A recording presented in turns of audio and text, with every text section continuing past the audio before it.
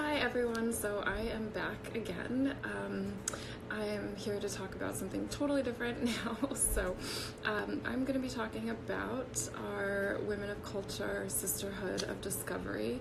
Let me just pop that in the chat. Oops.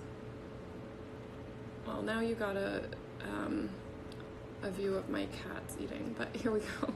So now you have the link that um, of the program I'm going to be talking about.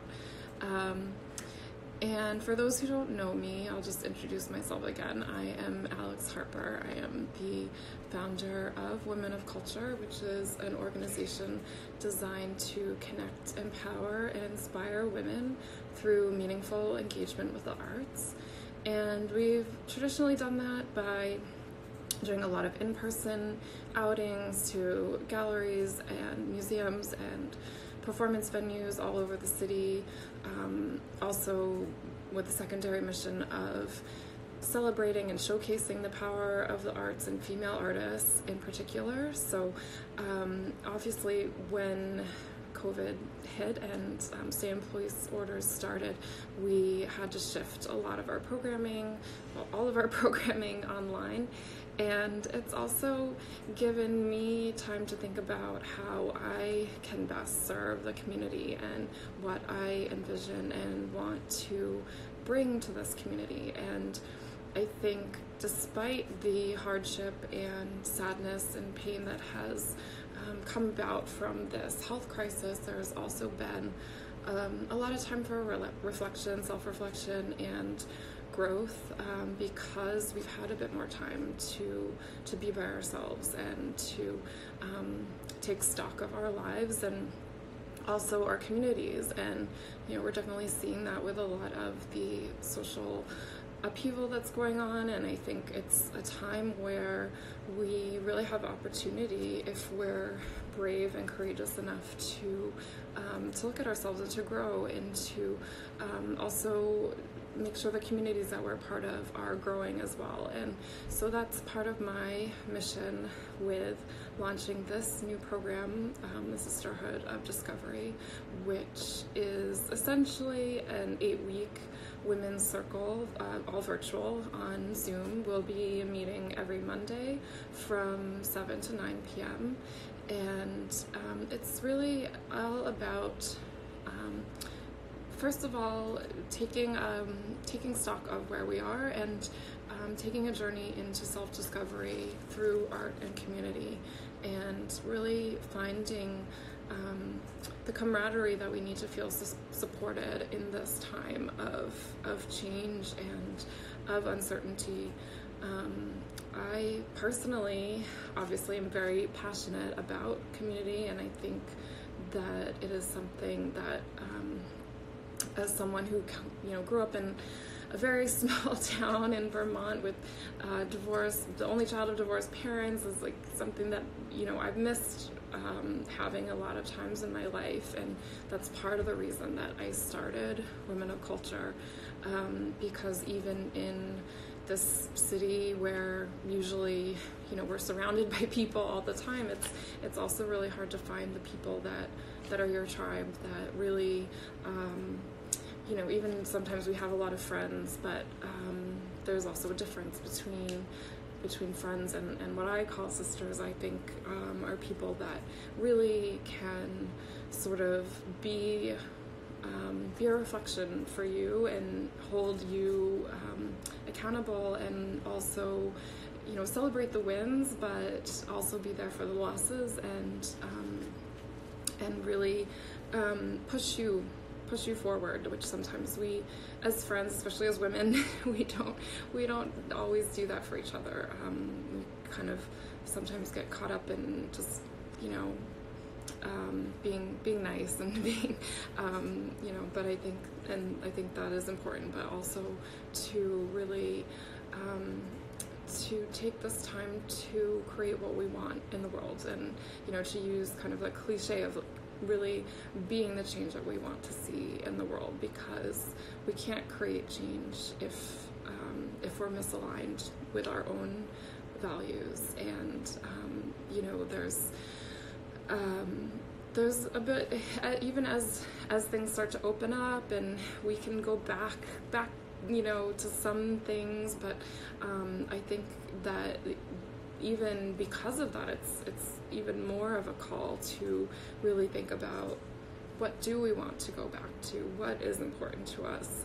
Um, there you know a lot of I've heard from a lot of people that when the stay in place orders first started that they almost felt a sense of relief and you know were almost happy at having some of their obligations removed or um, and I think this is really a moment I can relate to that and I think it's a moment that we can say like why why was that and why do we want to rush back to something that wasn't making us actually all that happy or that we were relieved to have a break from? Um, and how do we create something better? And i think that we really um, one of the first things we all need to to do that is is support. And um, i think especially as women we're very much um, you know emotional like communal people that we um, more than uh, I mean I think men do as well, but especially women do really seek out um, and feed off of that kind of support and um, and feedback from their peers, and so the um, the idea here is also you know really about um, some people may have read there was a recent Time magazine article talking about how there really, in addition to this pandemic, there has been for a long time an epidemic of loneliness going on in this country, and our individualistic society has really not served a lot of us, and I think we're all feeling that right now.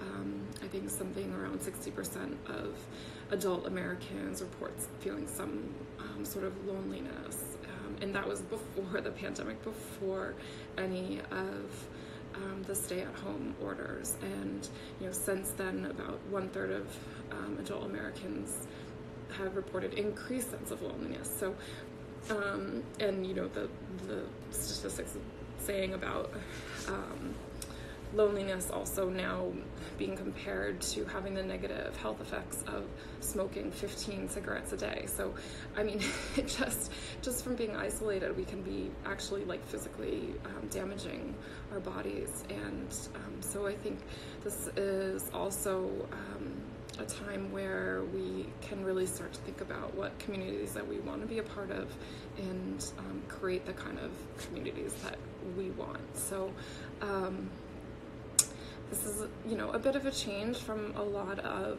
the programming that we have done in the past but i think there um, there's always been a bit of a, a theme of self-discovery curiosity um, self-care in all of our programming. Um, i do think that the arts are you know experiencing the arts can be such an amazing way to broaden your mind, broaden your perspective, cultivate curiosity, and that's something that I've always um, tried to encourage uh, through all of our you know in-person experiences and something that I really do believe um, can be continued to, to be cultivated online. And um, I think you know it, experiencing the arts can also help us see ourselves and discover new things about ourselves so um, and also discover our own creativity, which is just innate to all of us. I think something that we sometimes shut down, especially after childhood. You know, we're all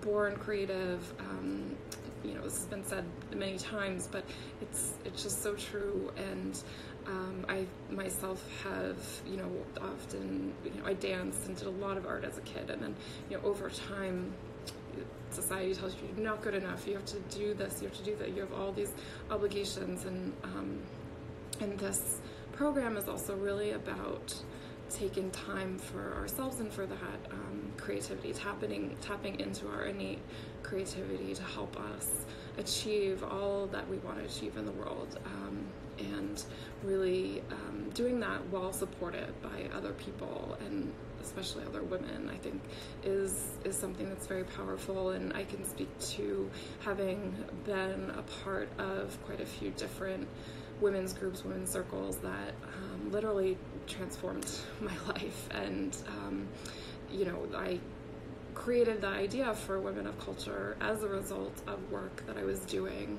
um, through a women's circle and being um, being in that environment of having that consistent um, engagement, challenge, um, accountability with other women was um, transformative for me, and um, so that's what I am really excited. One of the things I'm really excited to create through the Sisterhood of Discovery.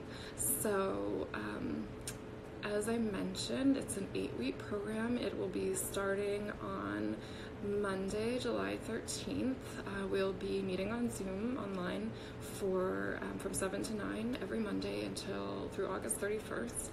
And we're doing a lot of um, uh, sharing, obviously, and um, first starting out really taking some account of, of where we are and, and where we would like to be, and um, digging a little bit deeper into that um, in order to create, um, you know, what what we want what we want and what, who we want to be.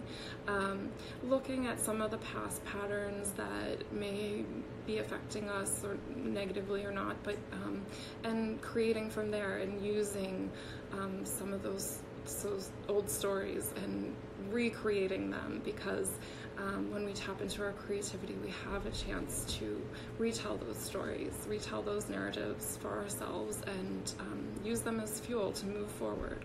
So, um, we'll also be doing a lot of movement, really not, you know, I don't say dance because that's like has a lot of um, connotation and people are scared of dancing but um, just also moving things through our body and making sure that we are also um, physically letting go of whatever we need to let go of that may be physically bogging us down um, as that often happens and in order to have the lightness and energy we need to move forward. Um, and then really also celebrating our womanhood and celebrating um, what it is to be a woman and how um, we want to create a new a new paradigm for for women and and working together to create that for each of us. So um, it's it's gonna be a lot. It's gonna be really fun and juicy and we're to dive deep and um, really you know sometimes push beyond our comfort zones but i think that is exactly what um, what we all need sometimes. And i'm really excited to see what we might be able to create together um, I am really um, open to any questions that people might have. If people want to reach out to me, um, they can find, obviously, just direct message me through um, Instagram or Facebook or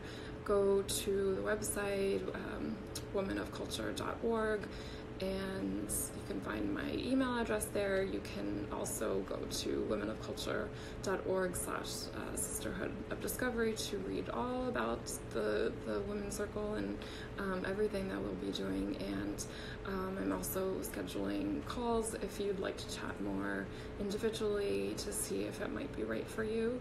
Um, but I um, just want to say thank you for listening to me and really um, excited to to go on this journey um, and invite you to the Sisterhood of Discovery. Thank you.